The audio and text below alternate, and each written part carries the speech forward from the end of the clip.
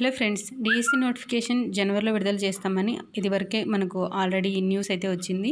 So దీనికి ముందుగా TET నిర్వహిస్తామని చెప్పి కూడా ఒక వార్తలు అయితే వస్తున్నాయి. సో ఇది టెట్ మరియు డిఎస్సికి రెండింటికి ఉపయోగపడే ఎడ్యుకేషనల్ సైకాలజీ బిట్స్ అనేవి నేను ఈ రోజు నుంచి మన ఛానల్లో అప్లోడ్ చేస్తూ ఉంటాను.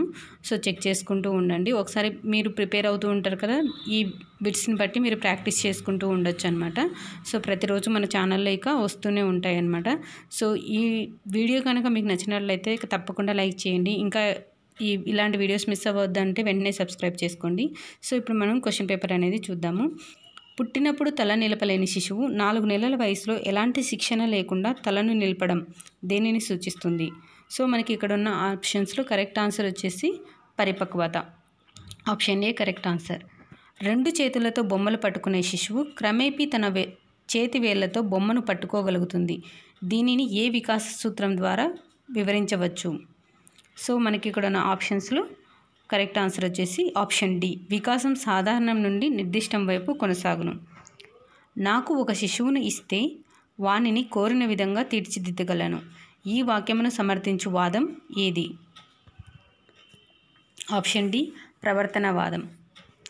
పుట్టిన నాటికే పూర్తిగా అభివృద్ధి చెందే జ్ఞానం. స్పర్శ.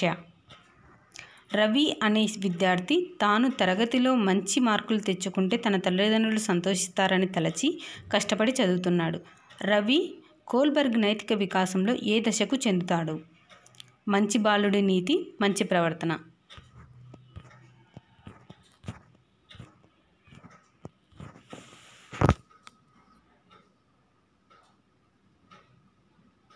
Next question. పరీక్షా పత్రాన్ని తయారు చేసేటప్పుడు కఠినత స్థాయికి ఇచ్చే భారత్వ పట్టికను రూపొందికలో పరిగణలోకి తీసుకున్న అంశము క్రింది వానులు ఏది? అంతర వ్యక్తిగత భేదాలు.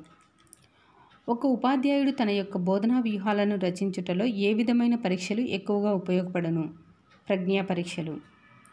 గణితంలో తక్కువ సాధన కలిగిన పిల్లవాడు భాషా విభాగంలో పరిపూర్ణత సాధించుటకు ప్రయత్నిస్తున్నాడు. అతడు వాడిన రక్షక తంత్రం ఏమిటి?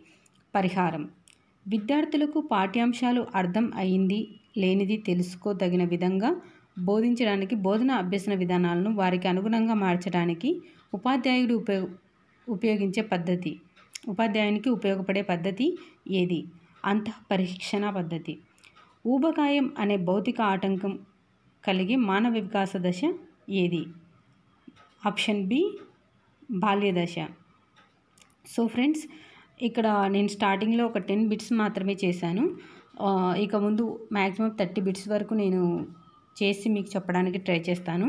సో ఈ ఇన్ఫర్మేషన్ మీకు యూజ్ అవుతుంది ప్లస్ ఈ వీడియో మీకు యూజ్ అవుతుంది అనుకుంటున్నాను. Thanks for watching my video please subscribe to my channel for more videos thank you